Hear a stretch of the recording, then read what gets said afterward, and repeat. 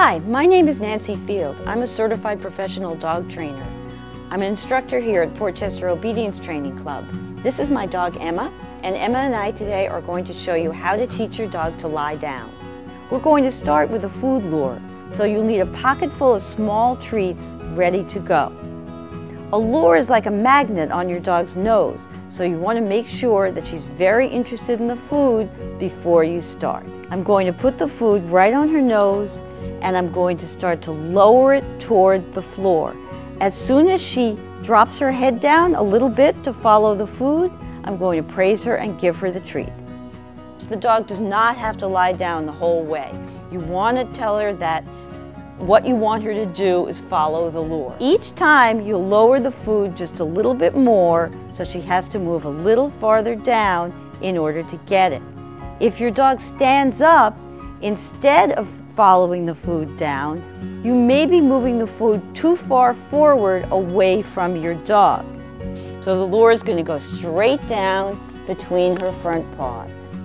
Yes, good girl. Okay, you might have to experiment a little bit for your particular dog in terms of the actual direction of the lure to make your dog lie down. Good girl. Okay? Once your dog is lying down readily for the treat every time, it's time to start to fade the lure and turn it into a hand signal. The hand signal we're going to teach the dog now is an open flat palm moving downward towards the floor. But we're going to start by making the signal look just like the lure and go all the way down to the floor. I'm going to put the leash on the floor and step on it so my dog is not loose because I'm going to need both hands free for this.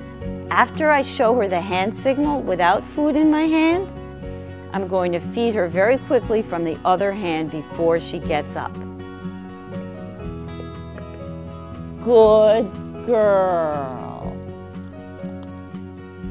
Okay. You'll do that several times so your dog really understands that your open flat hand means the same thing as your hand with the food in it. Over time, your dog should learn to also lie down for the hand signal without you having to lean over all the way. So we're going to make the hand signal a little smaller each time so she learns how to lie down for just the hand signal alone. Eventually, she'll be lying down for a very small hand signal right in front of her face with you standing upright. We teach the dog the hand signal first because body language is their native language. And then later, we're going to teach her the verbal cue, the word sit, for that behavior as well. I'm going to say the word first and then immediately show her what I mean by using the signal that she already knows. Down. Yes. Okay. After many repetitions of this, your dog will learn to lie down on the verbal cue alone. Emma, down.